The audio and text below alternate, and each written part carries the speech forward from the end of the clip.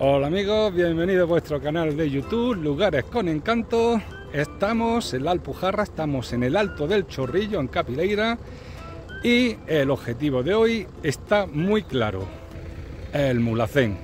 Allí lo tenemos, bueno, eso es el falso Mulacén, detrás está el Mulacén.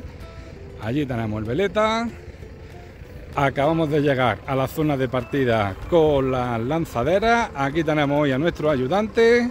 Eh, Conchi ha declinado esta visita. Y bueno, os vamos a relatar cómo va todo. Espero que disfrutéis de esta excursión.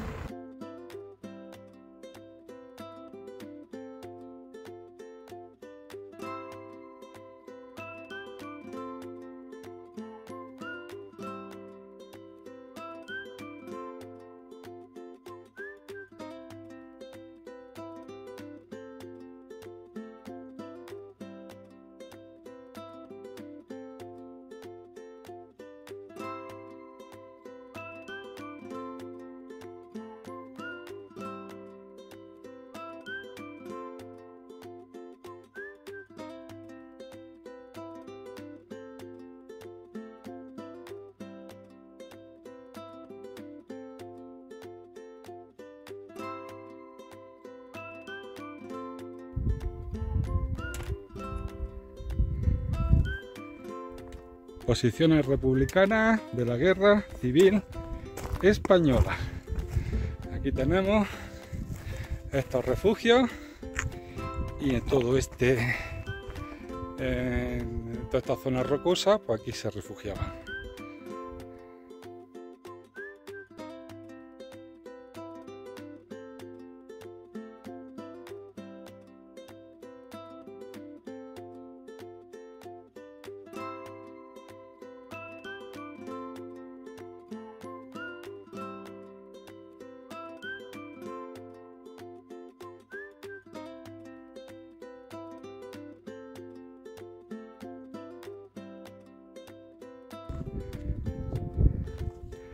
Desvío a siete lagunas.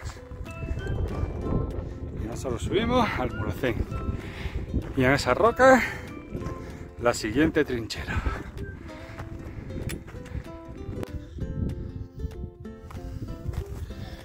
Pues posición republicana en la loma del Mulacén. Fijaros lo bien que se conserva. Aquí tengo la visión.